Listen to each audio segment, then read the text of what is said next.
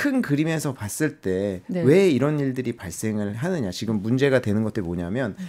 그 과거의 트럼프 행정부 시절에서 펼쳤던 중동에 대한 정책 변화 때문에 네. 이제 발생을 했다라고 좀 볼 수 있을 것 같은데요.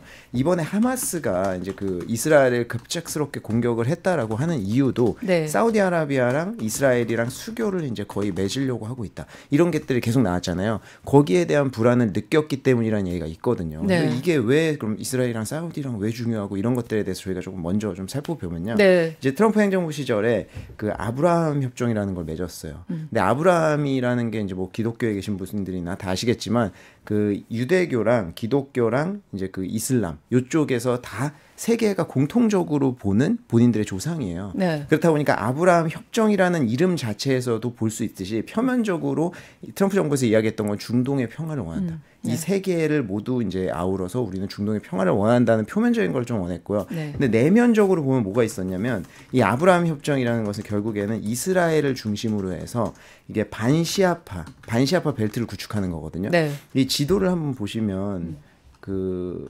중동의 역학관계 지도를 한번 보시면요. 네, 네. 중동이 그 저희 이사님이 준비하신 지도 지금 준비하고 있습니다. 네, 이게 네네. 9페이지 정도에 나오는데 보시면 역학 관계가 결국에는 종교적으로 굉장히 나눠져 있습니다. 이란 같은 경우에는 시아파 그리고 저 초록색으로 된 부분이 이란의 이제 동맹 쪽이죠. 시아파 네. 쪽으로 구성되어 있는 그리고 빨간색이 이제 사우디를 중심으로 하는 수니파라고 이렇게 보시면 되는데 노란색은 이제 왔다 갔다 할 수 있는 와일드카드라고 하는 네. 그런 좀 국가들이에요. 그래서 이란이랑 사우디랑 맹주로서 굉장히 많이 부딪히고 있는 그런 데거든요. 음. 그렇기 때문에 요거를 이제 반시아파 벨트를 구축한다는 거는 저 초록색으로 되어 있는 부분들을 배제를 하고 네. 사우디아라비아 쪽 사우디아라비아라고 얘기하진 않았지만 결국엔 수니파가 되겠죠. 네. 이스라엘을 중심으로 이쪽을 규합을 해가지고 음. 그쪽으로 이제 그 벨트를 구축하겠다라는 게 트럼프 행정부의 어떤 그 목표였어요. 네. 그렇다 보니까 그 당시에 어 이제 바로 이란 협정을 파기했었던 거. 네. 그러니까 그 오바마 대통령 시절에 그 오바마 정권의 제일 치적이 결국에는 그 이란을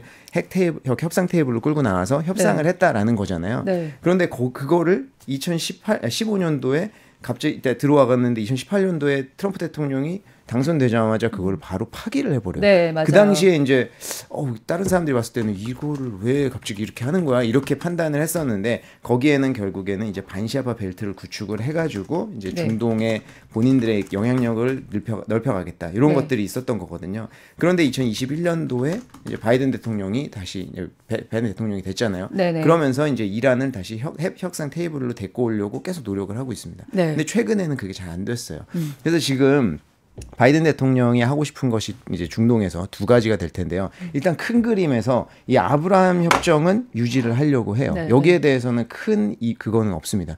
근데 이제 본인들이 일하는 협상 테이블로 데리고 나와야 되잖아요. 그럼 이게 되게 모순적인 음. 게 아브라함 협정이랑 모순되는 거예요. 왜냐하면 이란은 반시아파, 아니, 그러니까 그렇죠. 시아파잖아요. 그럼 반시아 벨트를 구축을 하려고 하는데 이란은 협상 테이블로 데리고 그러니까 나오려고 근본적으로 한다. 지금 저 초록색 쪽 그러니까 그쵸. 이란 쪽 세력들을 배제하자는 게 트럼프 때그 네. 아브라함 협정 의 어제 골자였는데 지금 바이든 대통령은 이란까지 아우러 보려고 어떻게 하던 네, 중이었잖아요. 네, 어쩔 수 없이 그쪽으로 가려고 하는데 아브라함 협정은 계속 이제 유지를 하려고 하다 보니까 네. 요거를 둘 다 데리고 오는 게 모순이 되기도 하고요. 계속 음. 거기에서 사이에서 왔다 갔다 하고 있었고 이란은 결정적으로 얘기가 잘 안 되고 있었어요. 음. 그런데 최근에 이런 뉴스들 보였을 거예요. 미국하고 이란하고 수, 수감자를 맞교환했다. 네, 그랬죠. 그때 한국도 이야기가 나왔던 게 네. 한국에서 갑자기 동결했던 60억 달러를 이제 이란 으로 한 보내줬잖아요. 8조 원 상당의 돈이 우리나라에 그쵸. 묶여 있다가 이란으로 이제 보내줬잖아요. 갔는데 이란에서 그 동안의 환차손이 있다고 우리나라에 소송 건다 어쩐다 뭐 그런 게 있었죠. 네. 네. 그래서 그 큰 돈을 이란으로 보내주고 수감자 맞교환하면서 2018년도에 이제 협상을 파기하면서 이제 완전히 대화가 근절됐었고 계속 이제 다시 대화를 하려고 노력을 하는데 잘 안 됐었다가 다시 이제 첫 대화가 이뤄진 게 바로 이 이거 수감자 맞교환 다섯 네. 명씩 맞교환을 한 거였었거든요. 네. 그런데 이게 지금 그러면서 그- 그러니까 바이든 대통령의 큰 그림은 뭐였었냐면 음. 지금 내년에 대선에 다시 재출마를 하는데 음. 지금 지지율이 그렇게 높지 않잖아요. 그렇다 보니까 내년에 큰 그림으로 아 우리가 내가 중동의 평화를 이렇게 좀 갖고 왔다. 이렇게 패키지를 네. 제시하고 싶었던 게 있었고요. 그리고 최근에는 단기적으로 지금 유가도 좀 많이 안 좋잖아요. 네. 그러니까 지금 이란을 핵 테이블로 데리고 와서 그, 그 증산이라든지 이런 것들을 좀 요청하려고 하는 것도 있었고요. 네. 실질적으로 저 막견하려고 대화하는 와중에 이란이 증산했습니다. 근데 이란이 지금 그 네.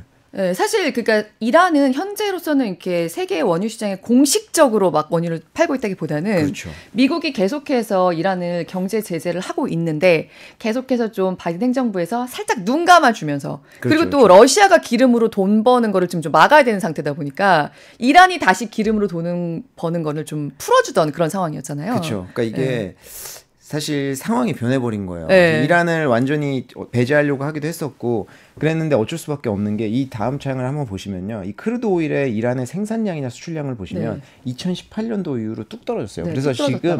사실 세계 시장에서 이제 이란이 그 어떤 차지하는 비중은 뭐 한 자릿수 정도 그렇게 해서 높 그렇게까지 높은 상황은 아닙니다. 수출량 같은 경우에도 확 줄었어요. 근데 아까 말씀하신 대로 이제 그 러시아랑 우크라이나 전쟁이 발생을 하고 이러면서 거기에서 좀 어느 정도 눈 감아주고 이런 장면들이 있었던 거예요. 네. 그래서 이란을 이제 그 바이든 대통령 입장에서는 핵 협상을 하고 싶었는데 지금 그것도 안 되고 단기적으로는 이제 그 유가를 좀 낮추기 위해서 증산이나 이런 것들도 조금 힘든 상황이 돼 버렸습니다. 그리고 공화당에서는 지금 무슨 얘기를 하냐면 그때 포로 맞교환하면서 한국에서 60억 달러 보내줬는데 결국에 이번에 하마스를 지원해준 자금이 그거 아니냐? 왜냐면 아, 예, 굉장히 큰 맞아요. 돈이니까 그런 얘기 나오더라고요. 나오는 거예요. 그래서 네. 공화당이나 트럼프 대통령은 이걸 가지고 물고 늘어지고 내년까지 공격을 할 가능성이 굉장히 높아졌다.